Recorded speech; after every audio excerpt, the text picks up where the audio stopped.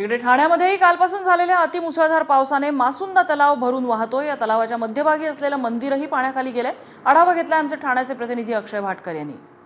ठाणे सिटीची जी ओळख आहे म्हणजेच तलावांचं शहर म्हणून ठाण्याची जी ओळख आहे ती आता खरी ठरलेली आहे. इथे तुम्ही पाहू शकता अनेक तलाव जी आहेत ती ठाण्यामध्ये अक्षरशः तुडुंब भरलेले आहेत. कारण की काही दिवसांपासून जवळजवळ जून महिन्याच्या अखेरपर्यंत ठाण्यामध्ये पाऊसच पडला नव्हता. आणि त्याच्यामुळे अनेक तलावांची जी पातळी आहे पाण्याची पातळी आहे ती खालावलेली होती अतिशय खाली गेली होती. पण आता हा ठाण्यातला अतिशय प्रसिद्ध असा मासुंदा तलाव तुम्ही बघत आहात. आणि हा मासुंदा तलाव हा तुडुंब भरलेला आहे पूर्णतः भरलेला आहे.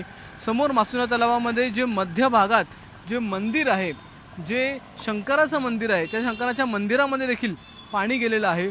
पूर्ण मंदिर आता या पाण्याखाली गेलेलं आहे. खरं म्हणजे ठाण्यामध्ये गेल्या अनेक दिवसांपासून पावसाने जी ओढ दिली होती ती गेल्या चार ते पाच दिवसात भरून काढलेली आहे की कारण की जून महिन्याच्या अखेरला चार ते पाच दिवस दिवस जो पाऊस पडलेला आहे आणि आता जुलैच्या सुरुवातीचे दोन दिवस जो पाऊस पडला आहे तो एकूण पाऊस हा हजार मिलीमीटर इतका पडलेला आहे. त्याच्यामुळे प्रचंड पाऊस हा गेल्या एक आठवड्यात दीड आठवड्यात पडल्यामुळे ठाणेकर सुखावलेले आहेत थंडावा आहे.